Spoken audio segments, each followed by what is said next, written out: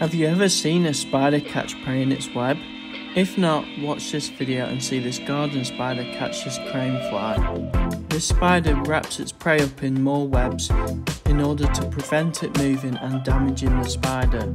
This then allows the spider to move in and liquefy its insides with special enzymes in its saliva. The spider then drinks this through its fangs as if they were straws.